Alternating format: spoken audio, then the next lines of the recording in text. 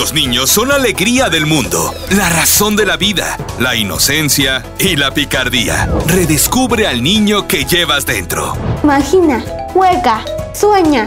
30 de abril. ¡Feliz Día del Niño! Grupo Turquesa.